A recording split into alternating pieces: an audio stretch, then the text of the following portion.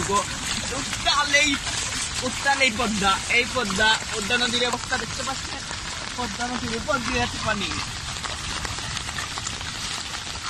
পানি